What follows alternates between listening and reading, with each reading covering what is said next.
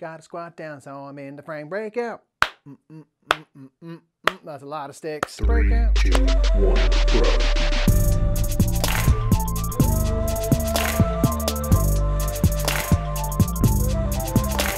What's up, everybody? My name is Michael Lee Murphy. I'm one half of the Brothers Murph, and it's time for Meta Game Minute. And I got to get real serious with you this week. Why is getting rid of games so hard? We've talked about this many times. But what do you do when you have a game and it's just not getting on your table and you don't have any more space? We have a lot of shelves over here that are full of things. Why is it so hard to let go of something that I don't even make use of, man? If it doesn't spark joy, why do I keep it? Is it just because the potential energy that's within that game? And I just, I struggle with this. I can't. We have reached capacity in this house. This studio is full. We cannot take more games. And so we said, like, that's it, dude. We're going for it.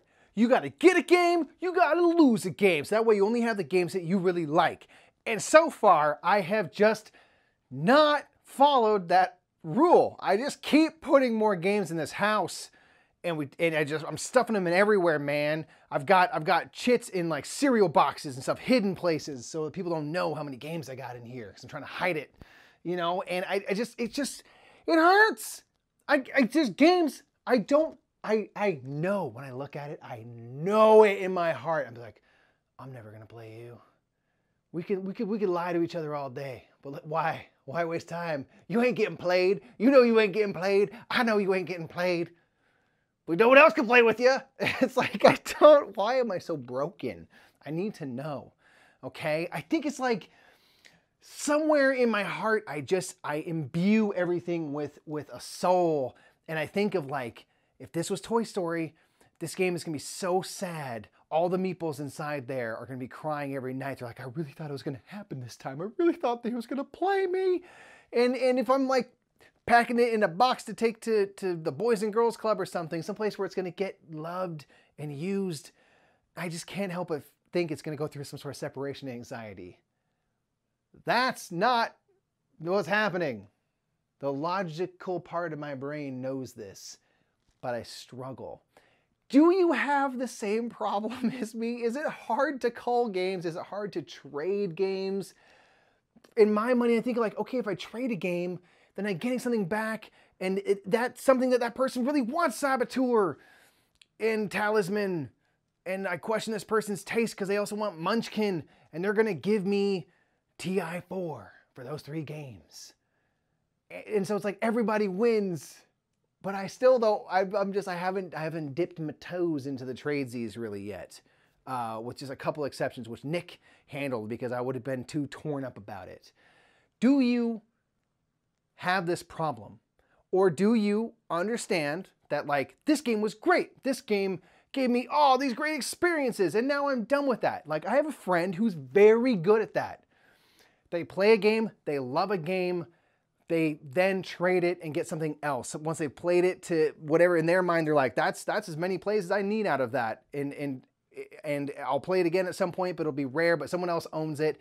I don't need it in my house. Like this friend got viticulture, got upgraded coins for viticulture. Said he played it like I played it like 20 times and that was good. Then I sold it. And I'm and all my all I could think of in my heart is how dare you? What is wrong with you? You're a monster. You love this game and then just like kick it to the curb. Like that's fine. You're all used up now. There's there's a bit of roughness around the edges of your cars. Get out of my house. Talk about Cult of the New. And I was like, that doesn't compute. That's my number two game. You think I'm getting rid of the number two game? You're crazy, pal. I'm not getting rid of my number 300 game. That's I gotta meet. I gotta get closer to the one than the 300, but I just I can't. And his eyes, it's it, it makes sense. He's just like, I'm not gonna play it as often, and I can get good value. It's got a lot of good trade value and stuff. Treating it like a used car or something. I just can't. Can you help me?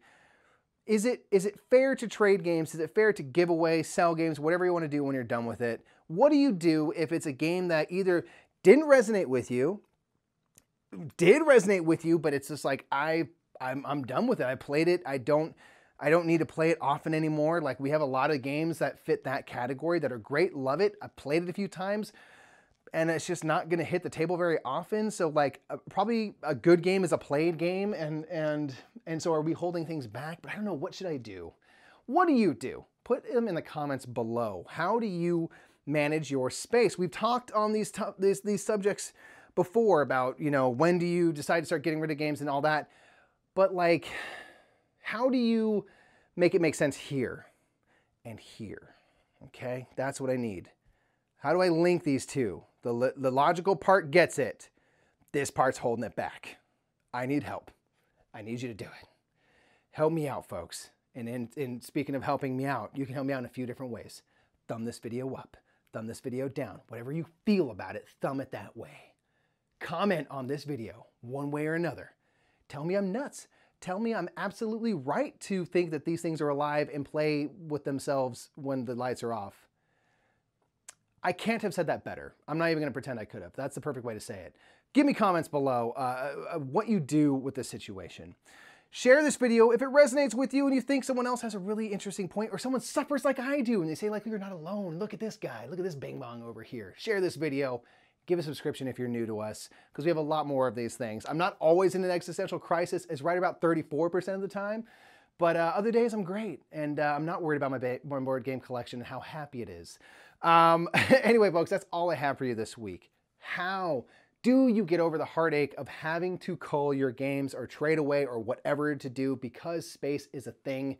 Square footage is very expensive in LA and I just can't anymore. I can't keep propping up couches and stuff on board games and pretend that that's why it's there and it's not because I can't manage to get rid of Talisman.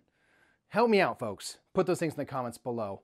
And just remember that whether or not you got it like that and you just keep every game, no matter what, you'll find a way, or you just have a whole house that's just for your games, or you are just ruthless like my friend, uh, and just get rid of everything once you've played it two times and decide like, yeah, you're old.